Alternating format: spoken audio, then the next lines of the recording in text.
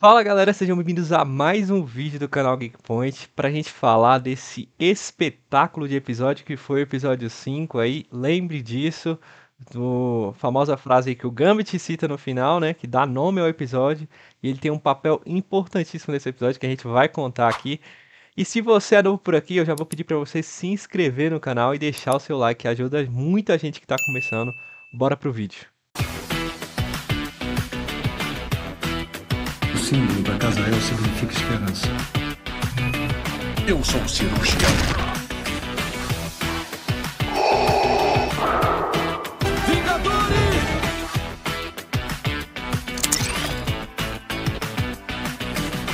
Bom, depois lá da Vida e Morte, parte 1, né? Como a gente falou no vídeo passado, teria-se uma pausa, só que a gente não sabia que essa pausa seria tão dramática e com acontecimentos tão importantes para a história ali dos X-Men, né? Eu achei que seria mais tratando ali da Scott e do Jean Grey e tal, mais um episódio mais leve, mas não. Chegou com o pé na porta, é, retratando aí na, dos quadrinhos a, a, a, o ataque, né?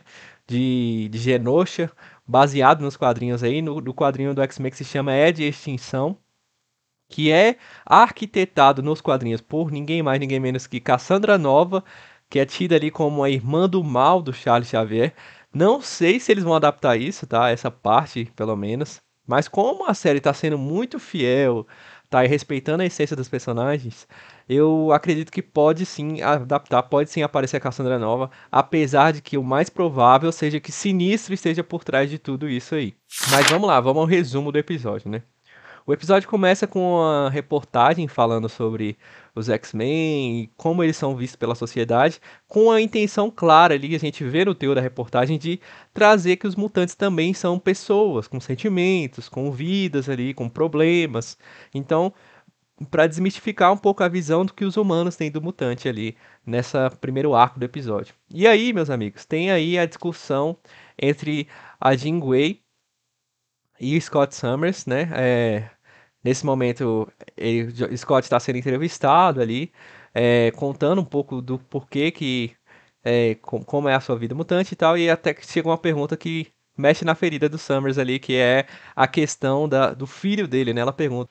Então, é, a gente tem aí uma coisa interessante nesse ponto da, da, entrevista do Scott é que ele tá muito revoltado, cara. Assim, eu sei que ele tá de luto e tal pelo filho. Isso com certeza pesou ali nas palavras que ele falou. Só que me parece aqui o discurso do Scott casando muito que durante muitos anos foi o discurso do Magneto, né? Essa questão da sociedade ser horrível, e os mutantes terem que se ajudar e, e por isso mesmo, e que os humanos são horríveis, as pessoas são horríveis. E muito da fala do Scott ali eu consigo ver é, o Magneto falando, sabe? É, é até engraçado essa, essa questão da influência que o Magneto tá tendo sobre os mutantes ali, sobre os X-Men, né? Porque sobre os mutantes ele já tinha. Agora sobre os X-Men, que eram sempre ali, tinha os ideais do professor Xavier, tinha aquela questão de a gente precisa ajudar os, os humanos, os mutantes, ou os, os seres humanos, para que eles entendam que os mutantes são pessoas boas e que a gente possa ser aceito. O, o Charles tinha a visão mais inclusiva no sentido de vamos nos incluir aos poucos. É normal que eles tenham essa questão, até porque a gente tem poderes e muitos dos mutantes não sabem controlar seus poderes e pode sim ser uma ameaça para os mutantes. Mas é, vamos fazer ali, a gente vamos, vamos primeiro aprender a controlar nossos poderes e aí a gente vai ajudar e vai tentar conviver com isso, sabe? E acho que essa sempre foi a visão do Charles. Agora do, do Magneto não, ele já queria mais se impor mesmo. Queria vocês têm que aceitar a gente, ponto. A gente é do jeito que a gente é e tal. E sempre foi essa questão do, do Magneto, né? De querer ver os humanos como sempre vilões e é, não entender o lado dos humanos também, né? Coisa que o Charles já tinha. Mas aí a gente tem um arco do, da, do Scott e da Jean Grey, porque aparece o Wolverine ali quando a Jean Grey tá meditando, tentando se lembrar do que aconteceu. E ali ele pergunta para ela se ele tá tentando fugir da reportagem. Ela tá tentando fugir da reportagem também. E ela fala que não. Tá tentando se lembrar das coisas ali. E que tá meio conturbado o que que era ali da Madeleine Prior ou dela. Então o Wolverine fala que eles sempre foram um casal e tudo mais. E aí, né, até que o momento que é, ele fala que nunca cansaria de ver o rosto dela, Porque ela fala, né? eu- eu às vezes eu me esqueço de quão experiente você é, de quantos sóis você já viu nascer, né? Nesse tom de você é muito experiente, você é um cara que pode me aconselhar e tal. E aí ele fala, é, já vi nascer muitos sóis, mas é um, uns olhos que nunca vão cansar de te ver, Ruiva. E aí rola um clima de romance ali. E aí ela dá um beijinho nele. Só que o homem, é até um momento legal aqui, porque o Wolverine sabe que aquilo ali nunca vai pra frente, sabe? Essa relação, essa relação dele com a Jean Grey nunca vai dar certo, porque quem ela ama de verdade é o Scott. E aí ele fala, cara, é- era o que ele mais queria que acontecesse, só que no momento que acontece, ele sabe que não vai pra frente. Ele fala, você é a Jean Grey, ele é Scott Summers, isso aí já tá, tá escrito, as regras, são as regras, né? E aí até que chega um momento em que Jean Grey confronta o Scott ali, porque Scott Summers, meus amigos, depois que sai da reportagem, vai ter encontros psíquicos com a Madeleine Prio ali, pra lembrar do filho ali. Eles meio que estão se ajudando a, a lidar com o luto de não ter mais o Nathan Summers ali com eles e tal. É até legal essa parte. Só que a Jean Grey vê isso como uma traição. Apesar de já ter acabar de dado a beijo na boca do outro caba, né? É, então ela tem ali aquela visão. E aí ela, ela acaba entrando na mente do Scott e vê ali que a Madeleine Prio tá ali, então, tendo encontro com ele, eu falo que isso era uma coisa só deles, era muito pessoal. E ela se sente traída ali, ela até pergunta se ele amava ela ou amava a, é, a Madeleine. E ele fala, eu amo as duas. É, e é bem complicada essa situação aí, né? Porque a Madeleine é a Jean Grey, mas não é. Então ela viveu muita coisa com o Scott, teve um filho com ele. E aí eu não sei, sabe, cara? É, tá, tá complicado. Eu não, eu não me surpreenderia se o Scott ficasse com a Madeleine e com a Jean Grey ficasse com o Wolverine, tá? Não, mas acho que eles não vão resolver por aí. E acho que é até coerente, tá? Eles, eles se, se essa fosse a decisão final de que o Scott ficaria ali com a Madeleine Prio, porque eles têm um filho, eles tiveram uma relação, por muito tempo ela passou, ela era a Jean Grey da vida dele, e agora não é mais, né? Então tá, tá essa confusão aí, tá esse bololô ali rolando na Mansão Xavier, até que, meus amigos, isso acontece em paralelo com o arco que tá acontecendo lá em Genosha, que aqui a gente tem um arco principal e que é fenomenal nesse episódio. Magneto e Vampira e Gambit foram para Genosha a convite da ONU, né? Porque ela quer tornar Genosha ali parte das nações, né? Parte das Nações Unidas. Então eles estão querendo ali fazer uma integração, colocar alguém na liderança, e os mutantes escolheram o Magneto, né? Só que a ONU não vê isso com bons olhos porque o Magneto já teve atitudes terroristas, né? O Magneto até dá uma lacrada, fala: vocês não permitem terrorista no comando, mas permi- permitem que seus comandantes se tornem tenham atitudes terroristas, né? É, que não deixa de ser verdade e tal. É, é uma frase assim meio, meio polêmica, mas que ele fala ali que como se fosse a hipocrisia da humanidade. Tem essa coisa do Magneto que eu não curto muito, sabe? De ficar sempre taxando os humanos de ah, pior coisa do mundo. É claro que ele é traumatizado, faz parte da essência do personagem. É legal que isso seja é, representado com fidelidade. Só que pra mim não me pega muito essa questão do Magneto aí, dele querer ficar taxando os humanos. Pra mim o cara é mal, cara. O cara quer justificar o mal com o mal. Sempre quis. E agora que tá tendo uma, uma mudança de pensamento ali, muito por causa do Charles Xavier, né? Mas beleza. Aí então, é, por, por- pela ONU não ver esse Magneto como um bom líder ali, um bom governante, ele, ele estrategicamente chama Vampira para ser a sua rainha, né? Para estar ali com ele no comando, junto com ele. Então, é, a gente tem um momento, né, dela falando, tal, você acha que isso vai fazer nossa relação de volta? Ele fala, olha, não escondo que eu me sinto muito apaixonado e envolvido por você. Mas essa decisão foi mais política mesmo. E aí, é, tem ali realmente eu acredito que tenha sido a decisão política por, por todo o contexto e tal, e a vampira até entende ali aquele momento. E aí a gente vem a parte que dói nosso coração, que é a conversa dela com o Gambit. Ela vai conversar com o Gambit depois de todo esse rolê aí, vai falar, olha, aconteceu isso, eu me envolvi com o Magneto no início do nosso... Bem no início, antes de entrar pros X-Men, e aí ele me explicava do mundo ideal, a gente teve relação, porque ele é, tem o poder do magnetismo, ele não. O poder dela não afeta o dele. Então acaba que ela consegue tocar ele, coisa que ela não consegue fazer com mais ninguém. E acabou tendo essa relação e ele fez o convite. E agora, é, depois que ela foi pros X-Men, eles se separaram. E agora ele faz o convite novamente de reatar esse relacionamento com o viés político, mas que também com certeza iria pro outro lado ali, né, da relação. E aí acaba que é, o Gambit solta uma frase de homem romântico e que na verdade faz todo sentido ali. Ele fala que existem coisas mais importantes do que o toque. Rapaz, que, que frase, hein, desse homem. O homem é, é um romântico. É fantástica essa frase aqui. E ele fala isso. Só que ele entende também todo o contexto político, ele entende também que a vampira estava confusa em relação a isso. Ele falou: olha, esse cara vai quebrar sua cara, mas eu respeito você, então a gente vai ser só amigo. E é mais ou menos esse o teor da conversa deles ali. Até que vai pro baile, os dois, né? É, e aí a vampira vai lá e se encontra com o Magneto na frente de todo mundo, para meio que selar esta união ali, tornar essa união pública, para que eles vejam que ela será a rainha e ele será o rei de Genosha ali. Então a gente tem isso, esse acontecimento. E aí, meu amigo, Gambit não aguenta ver toda aquela situação e vai lá para fora. E nesse rolê, Madeline Prior meio que dá uma cantadinha nele ali. Só que ela tem um encontro psíquico lá e ela lembra daquilo que aconteceu no episódio 2. Nos, no, nesse momento que ela tem ali, é, é, mostrado na mente dela que ela estava lá de novo naquele mundo é, pós-apocalíptico ali, de milhares mortos. A gente não sabe se são humanos ou mutantes. Aqui nesse episódio a gente vai saber.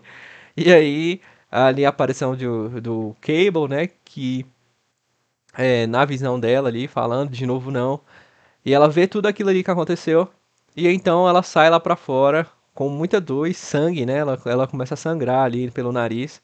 E mais uma vez, esse episódio aqui, cara, é cheio de sangue, cheio de cenas gráficas, assim, que é raro se ter uma animação, né? Principalmente do teor dos X-Men, da Disney e tal.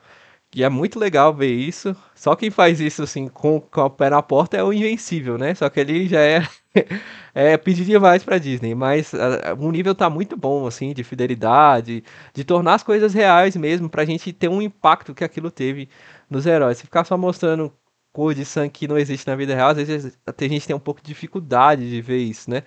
Mas quando a gente vê o sangue ali, a gente vê que o personagem está machucado, acaba a gente ter um elo mais forte ali do, daquela realidade, né? Então, é, aparece o Cable no quintal lá, falando, é, tirem todos daqui, desliguem a música. E aí ele encontra com Madeleine Prior ali em fora, e aí fala pra ela, né, é, mãe, eu sinto muito.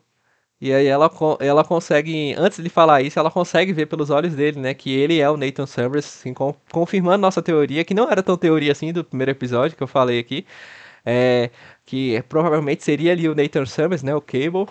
Então a gente vê aí confirmado mais do que nunca que o Cable é o Nathan Summers, sim, é o filho da Madeleine Prio com o Ciclope, e agora sabe disso, né? Não, não, não se tinha uma evidência que ele sabia que Madeleine era a mãe dele e o Scott era o pai dele. Agora tá muito claro que ele sabe sim. E ele é puxado de volta pro futuro Olha só, de volta para o futuro.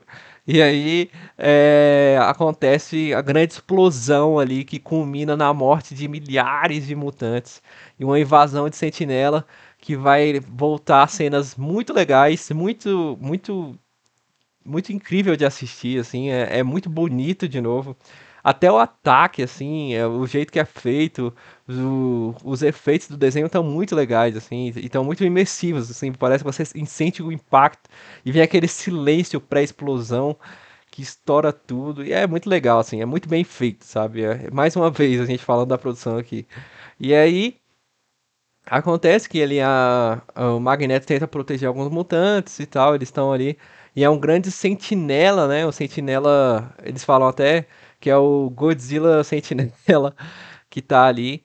Então eles têm ali a tentando salvar alguns mutantes, até que o Magneto se encontra ali numa situação onde que o Sentinela percebeu a presença dele e a vampira vai tentar salvar ele. O Magneto segura ela junto com o Gambit ali, é, ela insiste em tentar sair, só que aí o Sentinela aparentemente destrói o Magneto e os seus mutantezinhos que estavam ali em volta. E aí a vampira fica revoltada, tenta atacar o sentinela.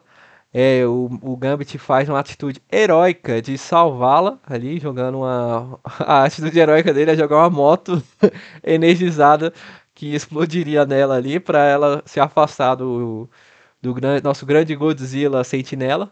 E então ele vai lá, vai na munheca, vai na mão mesmo enfrentar o Sentinela, que é uma cena sensacional. E aí ele correndo lá, se desviando todo das coisas que o Sentinela tá tentando atacar ele ali e tal, das destruições. E é muito incrível essa cena. E aí quando ele chega lá, tá chegando perto do, do Sentinela, o Sentinela finca ali um pedaço de, de ferro dele, como se fosse um tentáculo ali, atravessando ali ele na costela ali do Gambit. E essa cena é, é sensacional, porque ele, o Sentinela fala ameaça é, mutante neutralizada, algo nesse sentido. E aí o Gambit dá um sorrisinho assim de canto de boca, meus amigos, que ele fala, ah, agora eu lhe peguei. E aí ele vai lá e energiza todo o sentinela o sentinela ali e acaba explodindo e fala, e na verdade antes dele explodir ele fala, né, é, o nome é Gambit, lembre-se disso. E aí dá o nome ao episódio.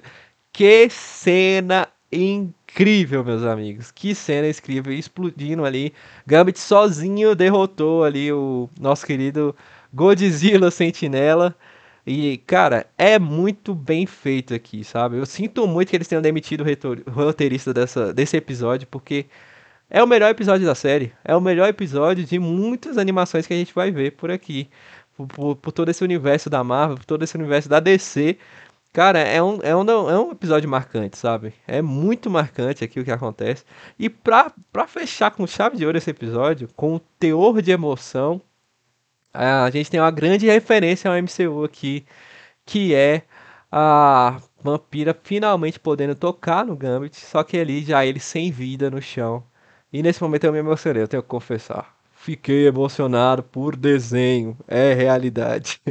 e ali é, a vampira abraça o Gambit uma última vez, podendo tocá-lo a primeira vez sem que ele sinta ali os efeitos do poder dela. E aí ele, ela solta a nossa frase que abalou o MCU por vários anos.